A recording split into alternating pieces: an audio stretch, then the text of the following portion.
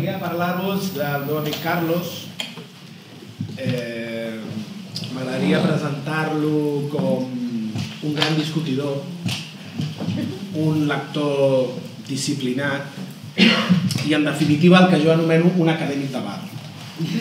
Un acadèmic de bar que no un xapes, que són coses diferents. De professió és informàtic, ha estat delegat de la, de la CGT.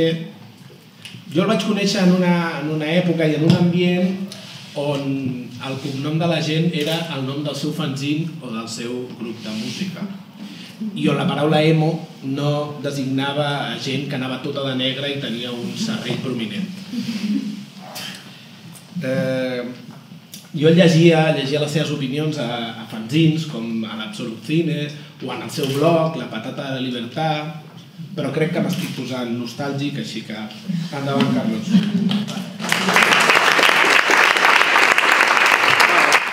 Um, jo parlaré sobre la nostàlgia, o potser més ben dit, una mica en contra de la nostàlgia. No? Um, el que, per, què vull, per què he escollit aquest tema? Bueno, tot, tot bé, jo com diu el Marc vaig tenir una època fa, hòstia, fa molt, fa 25 anys, molt activa, i a l'escena a Barcelona, pum, anava a concerts com si fos un treball pràcticament, i coneixia molta gent, i ara, tants anys després, em torno a trobar aquesta gent i la gent sempre vol recordar eh, i jo vull recordar. No? Aleshores, eh, jo em pensava al principi, hòstia, què tens? Com una mena eh, Em semblava al principi que era una falta d'empatia o una mena d'immunitat sentimental que tenia i no em sentia gust no? a mi mateix. Després vaig començar a llegir sobre la nostàlgia i vaig veure que la nostàlgia bueno, té moltes lectures. No?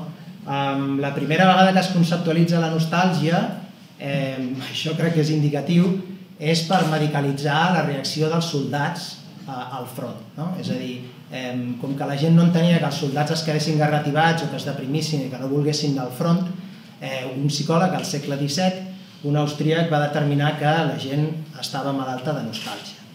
Després es va fer la mateixa jugada medicalitzant la nostàlgia als Estats Units. Temps després, quan anaven els immigrants, fugien i bueno, fugien per la fam d'Europa, per les guerres, etc. i s'anaven a colonitzar la terra dels indis d'acord al Manifest Destiny. Aleshores, aquí també la nostàlgia s'entenia com una cosa problemàtica. No? I aleshores, ara mateix, eh, després de tota aquesta evolució, sí, la nostàlgia evidentment existia abans, ha existit després, ara la nostra relació amb la nostàlgica potser no és tan problemàtica, però sí que trobo que, que té dos, dos vessants amb les que cal estar en guàrdia, no? una mica, i que crec que m'expliquen una mica a posteriori eh, per què jo em quedava garrativat cada cop que algú em volia fer recordar. No?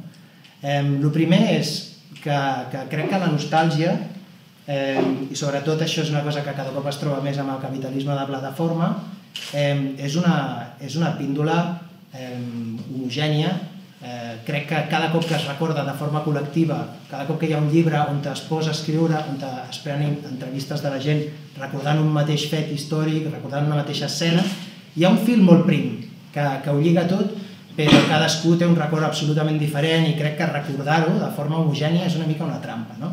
Aleshores, aquí on entra el capitalisme de plataforma, que ha potenciat la nostàlgia fins a crear una indústria de continguts dedicada a la nostàlgia, és que bueno, el capitalisme de plataforma fa el descobriment que tots coneixem, ens fa quatre preguntes, aprofita la nostra informació i després amb aquesta, amb aquesta data eh, diem que ens comença a, a donar, eh, a entregar petits eh, capítols, no? petits episodis eh, perquè nosaltres recordem i, i per fer això, com que són milers de receptors, són milions de receptors, lògicament eh, s'ha de donar d'una manera sen, eh, sense, sense complexitat s'ha de fer una píndola simple perquè se l'ha d'empassar molta gent i la, tota la gent s'ha d'empassar la mateixa píndola. Amb això no vull ser no vull ser snob, o sigui, crec que hi ha una manera de fer una nostàlgia reflexiva, no estic dient que tothom eh, s'empassi això, però sí que crec que hi ha un camí eh, d'estar de, obert a la nostàlgia, a trobar-te amb un passat adulcorat, que en el cas de molts episodis històrics crec que és un, una mica eh, una, una forma de eh, està predisposat a escoltar discursos molt perillosos. No? Crec que, de fet, que, que, que el feixisme sempre n'ha fet ús no? de la nostàlgia. No estic dient que, que, la nostàlgia et porti directament al feixisme, eh? però és una mica més, més difícil. Després, la segona part, o sigui, el segon pensament que tinc sobre, sobre la nostàlgia és una mica eh, com n'és de letàrgica, no? com és d'invasiva. És a dir, quan tu et poses en moda tarda de diumenge i, i agafes eh, qualsevol expressió cultural que tingui, que faci, o sigui, que faci peu a, a, a la, principalment a la nostàlgia, és com que et vols deixar envair per tot això, és, és, és com si el cos t'ho demanés, no?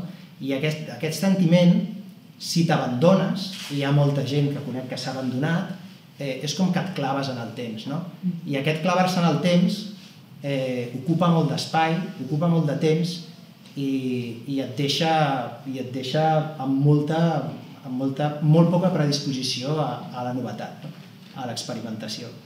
I crec que això és evident eh, quan veus tota la gent que està fent el ridícul. Quan veus tota la gent que està fent el ridícul a Twitter, no? Eh, i, I bueno, ja està, era, només era aquesta reflexió.